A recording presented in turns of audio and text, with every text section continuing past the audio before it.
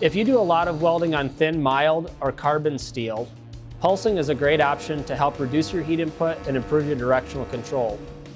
This can help you get the arc more easily positioned or directed where you want it to go. A beginner welder may use a half to one pulse per second as a metronome to help time the addition of filler metal.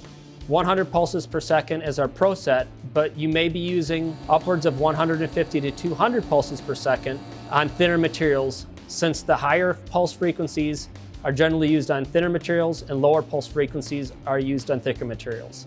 The Dynasty and MaxStar products now have the QuietPulse mode, which can be activated in DC pulsing in both the sinusoidal and triangular waveforms. QuietPulse mode can help reduce the audible noise associated with the pulse welding process.